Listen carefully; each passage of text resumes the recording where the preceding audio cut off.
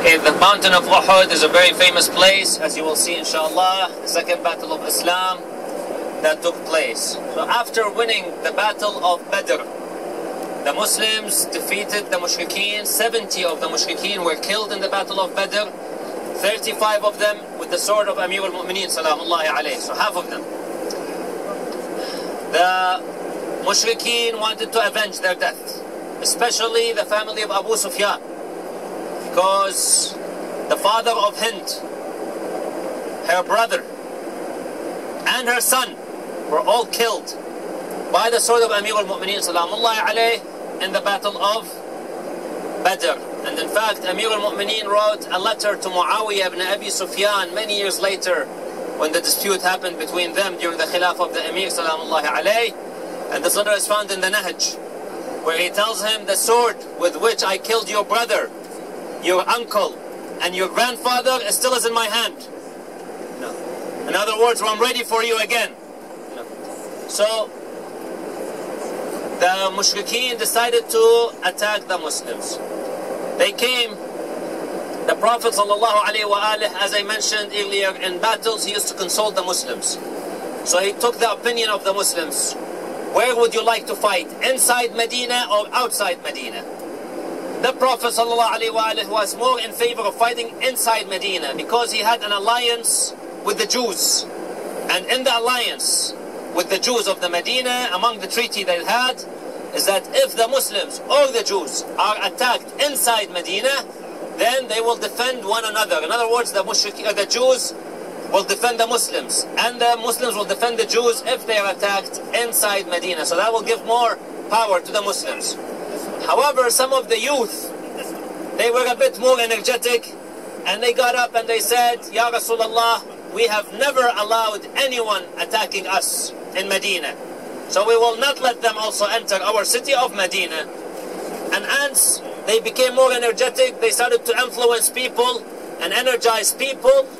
So people then were persuaded to go and fight outside of Medina and that was the consensus. So people agreed. And the Prophet ﷺ, like I said, even though he is Rasulullah, and he could have told them, no, we're going to fight inside, because that's the way, but he accepted their consensus and he agreed with them in matters of war. I just want to highlight that this is in matters of war. He would not consult them in matters of religion. He would not consult the Muslims, who would you want to have a Khalifa after me? Or he would not consult them, how many times would you like to pray in a day? Four times, five times? In Maghrib you want to have three, or Isha three, or these things, no, there's no consultation. There, it's a command from Allah subhanahu wa ta'ala and the Holy Prophet. He commands it. But in battles, because Muslims have to participate, they also need to fight with him. And in case there is a loss, then they would not blame Rasulullah sallallahu alayhi wa alayhi. He would tell them that you are part of the consensus, part of the agreement. And to show his inclusivity, as I mentioned earlier. So they decided to go fight outside of Medina. Indeed, the Prophet then chose Uhud. As you will see, it's a good strategic place. The mountain is behind the Muslims, so this way they cannot be attacked from that side of the mountain, as you will see. But there was a, a problem. There was a drawback.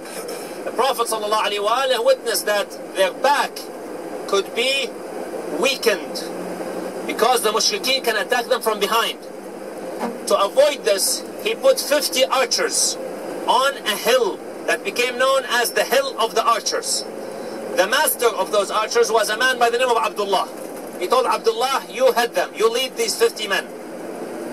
And he told them explicitly, no one comes down from the hill until I signal. Whether we are losing or we're winning, you don't come down. Leave us until I signal. And he kept Abdullah in charge. Then the battle began. The Muslims started fighting. The Mushrikeen came, and their leader was Khalid ibn al-Walid. He was the leader of the Mushrikeen, along with Abu Sufyan, of course. So they came, and they started fighting. Initially, the Mushrikeen started losing. The Muslims started winning. Imam Ali went, goes and kills the flag bearer of the Mushrikeen. So they passed the, the flag on to someone else. Eight of them. He killed all eight of them. Salamullahi alayh. And the Mushrikeen started to be defeated. The Muslims started to win. Then those archers, they said, let's go down and collect the booty, otherwise we will miss out. Their master, their leader, Abdullah, he told them, you can't go down. The Prophet said, unless he signals. And he has not signaled to us. They said, leave us. We're going to miss out on the booty. So they descended down. Only a handful of them remained on the hill, along with Abdullah, their master. He remained. They came down. When Khalid ibn al-Walid saw that the back of the Muslim is now not protected anymore by these archers. So he told his, his, his friends, his, his uh, army, go back and fight. He ordered them to go back and fight the Muslims. And he took about 50 or so men, give or take.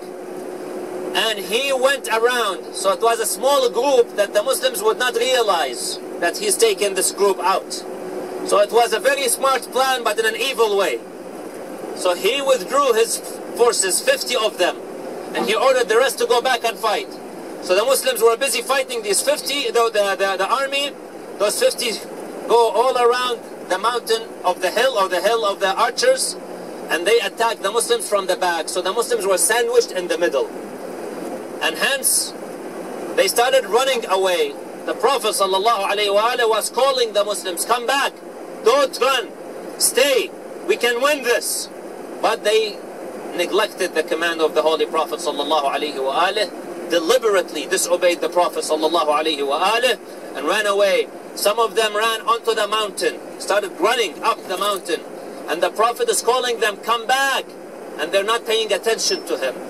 So over 60 verses in Surah Ali Imran were revealed condemning the Muslims, blaming the Muslims for their disobedience of the Holy Prophet sallallahu alaihi wasallam. The Prophet Allah says in the Quran, إِذْ تُصْعِدُونَ وَلَا تَلْوُونَ When you get up, you ran up the mountain, you did not even look back. And the Prophet is calling you, come back, and you would not even pay attention to the Prophet. And some Muslims ran as far as a city called Yanbu', which is on the Red Sea. It's about 400 kilometers away from Medina. Some Muslims ran that far. You know, I don't think even Usain Bolt can run that far. You know, they ran without looking back, thinking that the Prophet ﷺ has been killed in the Battle of Uhud. And there, except a handful of Muslims remained with the Prophet ﷺ, and the one upon whom there is a consensus that he did not leave Rasulullah sallallahu alayhi wa was Amir al-Mu'mineen, alayhi, Ali ibn Abi Talib, who fought defending Rasulullah until his sword was broken. The Prophet gave him his sword and said, take this sword, Ya Ali. And then Jibreel came down to the Prophet with a sword. And he said, give this to Ali ibn Abi Talib, Ya Rasulullah. And, and then Jibreel asked the Prophet, he said, Ya Rasulullah, Ali is defending you so bravely and fiercely. The Prophet said, do you know why, Ya, ya Jibreel? He said, why? He said, because he's of me and I'm of him. And Jibreel said, and I'm of you too. And the call was made, La fata illa Ali, La sayf illa dhul fiqar, by Jibreel, salamullahi alayh.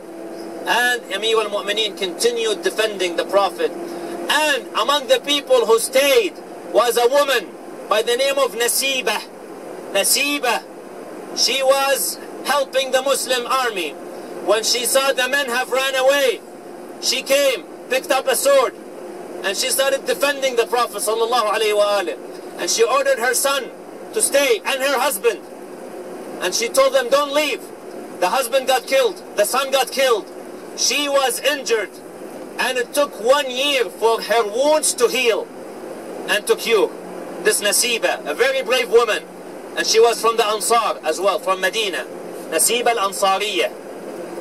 So they fought bravely. But unfortunately, the Muslims lost in this battle 70 of the greatest of their men. People like Mus'ab ibn Umayr, the Prophet's ambassador to Medina. He was a young man, a youth. The Prophet sent him to Medina and he managed to convert the people of Medina to Islam before coming of the Prophet sallallahu alaihi wasallam. Mus'ab, Radwanullah ta'ala alayhi, got killed. Abdullah, the father of Jabir ibn Abdullah al-Ansari, Jabir, the one who narrates Hadith al-Kisa, his father was killed. in that battle. Amr ibn al-Jamuh was killed in that battle. And Abdullah, the leader of the archers, he was killed in that battle. So among the greatest of the Muslims, unfortunately, the great ones got killed, and the greatest of all of them was Sayyid al-Shuhada of his time, Hamza, the Prophet's uncle. Hamza, who Hind, after losing her brother, her father, and her son in the battle of Badr, she calls Wahshi, and who was very good with his spear. He had very good spear skills. And she told him, I want you to get me one of three. Either Muhammad sallallahu alayhi wa alihi wasallam, or Hamza or Ali. One of the three. He said, Muhammad, I can't reach him because his companions surround him. He says, Hamza, if I see Hamza asleep, I would not dare going near him. Never mind attacking him and killing him. Because Hamza was very brave, even from before Islam. He was known as the lion hunter. So he was very brave. And then he was among the early Muslims as well, who defended the Prophet sallallahu alaihi wasallam. And interestingly, he was the same age as Rasulullah sallallahu alaihi wasallam, same age as him. And in fact, he is his brother from nursing, the nursing mother. So Hamza and the Prophet are brothers from the same nursing mother. Nonetheless, he said Ali is a youth. Ali is a young man. He was in his early 20s at the time. He said, I will try him. I'll try to get him. Wahshi says, when I went to the battlefield, I looked at Ali. This man is like a wolf. He would always turn around and he would never allow anyone to come around him from his behind. And that's why Imam Ali was known to wear an armor only on the front side. He would not wear a back armor. And when he was asked, why Ya Amir al-Mu'mineen? He says, if anyone manages and succeeds in going behind me, then they can kill me. In other words, no one can manage to go behind me, to attack me from behind. So he says, I saw that he was like a wolf, looking all behind. So there was no hope. At that stage, Hamza spotted me. He came running after me and I started running away. But then his horse tripped and he fell off his horse. And that's when I saw the opportunity, picked up my spear and I shot Hamza. And that's when Hamza was killed. Salamullahi alayh, the Prophet's uncle. And Hind then came to his body and mutilated the body, cut off his his hand, his fingers, and made them into a necklace that she wore around his her neck. And in fact, she taught the mushrikat, the women, what to do. So they started coming and doing the same thing with other Muslims. Then she cut off his heart and his liver. And she took out the liver and chewed it raw. But Allah subhanahu wa ta'ala did not allow her to swallow it. So she threw it out of her mouth. And she mutilated, she cut off his ears, his nose. Salamullahi alayh. And hence he became known as Sayyid al-Shuhada until the martyrdom of Imam al-Hussein Salamullahi alayh when that title was given to Abi Abdullah Salamullahi alayh. Then the Muslims lost the battle. It was very sad. Only a handful of people remained with the Prophet sallallahu alaihi wasallam about seven or less of the Muslims remained with the Prophet, Imam Ali, along with others. Then they managed to fiercely defend Rasulullah sallallahu alayhi wa until they managed to save him. And the Prophet then came back to Medina. His teeth were broken. He was badly injured, bleeding. Amir al-Mu'mineen was heavily bleeding to the point where the, pe the people who were nursing him, the ladies who were nursing Amir al-Mu'mineen, alayhi, they said, Ya Rasulullah, we cannot stop the blood. So then the Prophet alayhi put his holy hand on the back of Amir al-Mu'mineen, salamullahi alayhi, and he stopped the bleeding of the Imam, salamullahi alayhi. That's what happened during the events of this battle, which were very gruesome. Then the Prophet returned some of those Muslims, they thought initially the Prophet has been killed. But then they were realized that no, the Prophet has not been killed. He's alive. And so they started returning back slowly to Medina. A woman, she brought a trolley. She put on the trolley her husband and her sons. All were killed in the battle. She came back. And when she saw the Prophet, she started crying. The Prophet ﷺ told her, I'm sorry for the loss of your children and your husband. إلهي كفى بي عزا أن أكون لك عبدا وكفى بي فخرا